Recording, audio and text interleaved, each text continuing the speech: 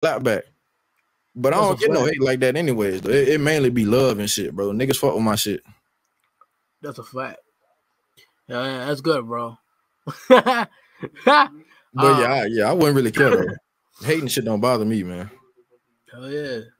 Um, my, my question is this: What what does success what what does success feel like? I ain't even successful yet, bro. So I wouldn't even know. I wouldn't even know. But I can tell you what I think. Uh a lot of niggas want fame and shit like that. I don't want no fame, bro. I don't even want the most money, bro. You, if I make like a good 10 M's, bro, I'm good. I don't care about like, bro, man, I'm finna go all. Hey, why niggas so greedy with money, bro? Like, how much money you need? Like, bro, you telling me, like, how the fuck did rich niggas be calling other rich niggas broke? It's like, bitch, we can do the same shit. I don't care. It'd be a two hundred dollar nigga. Hell what yeah. can you get? It'd be a two hundred million dollar nigga talking to a nigga with fifty million, calling him broke. Bro, nigga, help me! I'm down here, nigga. What the fuck y'all talking about?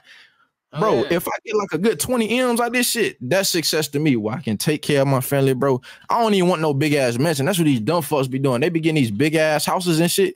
Dude. And then it's like, bro, your house stand out so much, nigga. Your address, everybody address public, but bro, like niggas know where Rick Ross live at. Niggas know where Drake live at, bro. I don't want no house like that. I want a regular house, like suburb house, bro, with neighbors, regular neighbors like me and you, regular neighbors. Yeah. I don't, I don't want no high class, all that extra shit, bro. You overdoing it. Cause like how much how much money you need?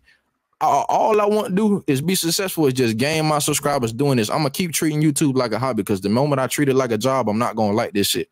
So I'm gonna just mm. do this shit. I'm gonna just do this shit the moment until the moment where my shit pop off, and then I can just quit all my jobs and I can just put more time into this. But it's gonna always be a hobby. That's gonna be success for me.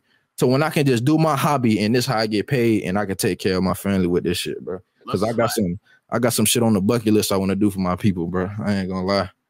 Proud to the people, true to the people. That's a fact. Same Hell yeah. Bro. I want to open up a restaurant too. I ain't gonna lie. vegan restaurant. I want to open up a restaurant, Ooh, bro. I, will pull up. I want to open up a restaurant, bro. Real shit. I'll pull up. Hell yeah. TV Hell yeah. I had that shit. The price is gonna be like, ain't it gonna be taxing like that, bro. It's gonna be reasonable. Like, man, these motherfuckers be greedy out here, bro. How much money you need, bro? Man, come on, bro. People like bro. need to eat and shit. That's that. That's that greed money shit.